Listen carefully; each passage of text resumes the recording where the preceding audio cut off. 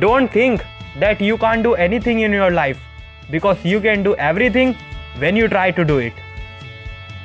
Hi friends and welcome back to wrestling phenomena दोस्तों, आज के इस वीडियो में मैं बात करूँगा डीन एमरोज की स्ट्रगलिंग लाइफ के बारे में कि किस तरह से उन्होंने अपनी लाइफ में प्रॉब्लम्स को फेस किया और उन्हें हटाकर आगे बढ़े। तो चलिए दोस्तों, शुरू करते हैं। दोस्तों डीन एमरोस का जन्म हुआ था 7 दिसंबर 1985 को सिंसिनेटी ओहायो में। वो दिन बहुत खास था। एंड बचपन से ही डीन एमरोस को बहुत पसंद थी रेसलिंग और धीरे धीरे उन्होंने रेसलिंग को अपने जीवन का हिस्सा बना लिया था। जिस जगह डीन एम्ब्रोस रहते थे, वो जगह काफ़ी खतरनाक थी, लेकिन अपने रेसलिंग करियर पर डीन एम्ब्रोस ने कभी भी उसका बुरा साया नहीं पड़ने दिया। डीन एम्ब्रोस ने अपनी बेकार ज़िंदगी से निकलने का फैसला कर लिया था, जिसका रास्ता रेसलिंग से होकर गुजरता था। और ये आज कहना गलत नहीं होगा कि आज डीन एम्ब्रोस अच्छी लाइफ जी रहे हैं तो उसकी वजह रेसलिंग ही है। दोस्तों, डीन एम्ब्रोस को उनके स्कूल से निकाल दिया गया था, लेकिन उनके पास में रेसलिंग की एक काफ़ी अच्छी खूबी थी और इसलिए उन्होंने इसके लिए ट्रेनिंग भी शुरू कर दी थी। दरअसल, स्कूल के समय उन्होंने बहुत सारे रेसलिंग प्रोमोज देखे थे और उसके बाद में उन्होंने ठान लिया था कि उन्हें भी एक रेसलर बनना है। दोस्तों रेसलिंग में करियर बनाने के लिए डीन एमरोस को एक जॉब की भी ज़रूरत थी, ताकि वो उसका खर्च निकाल सकें। और इसके लिए डीन एमरोस ने कई तरह की दुकानों पर काम किया। उन्होंने पॉपकॉर्न बेचे पेपर बॉय और खाना बेचने वाले तक का काम किया। इससे उनकी रेसलिंग की ट्रेनिंग का खर्च आराम से निकल जाता था। और इतना ही नहीं डीन एम्ब्रोस ने कुछ रेसलिंग प्रमोशन के लिए भी काम किया, जहाँ उन्होंने चीज़ों को जोड़ा और ठीक भी किया। सन 2004 में डीन एम्ब्रोस ने रेसलिंग की दुनिया में कदम रखा, जहाँ से उनकी ज़िंदगी की नई शुरुआत हुई।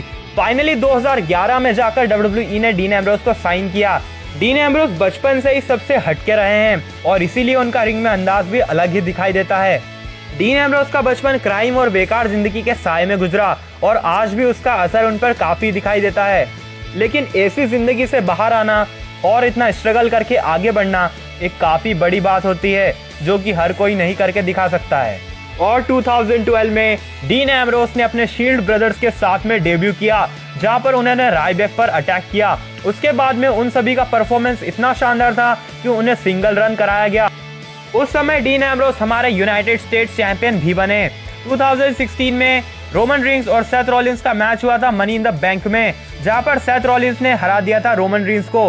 मैच के बाद में डीन एवरोस आते हैं और कैश इन कर लेते हैं अपना money in the bank brief and बन जाते हैं हमारे न्यू डब्ल्यू चैंपियन। उस रात डीन एवरोस ने सबको शॉक कर दिया था और इससे पहले डीन एमरोस हमारे इंटर कॉन्टिनेंटल चैंपियन भी रह चुके हैं।